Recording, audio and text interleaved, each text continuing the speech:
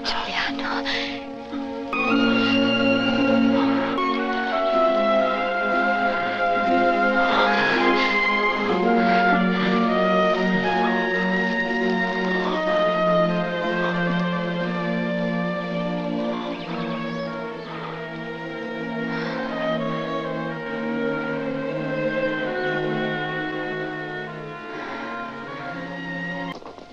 Giuliano, questi sono gli uomini di mio padre che mi cercano. Quella parte!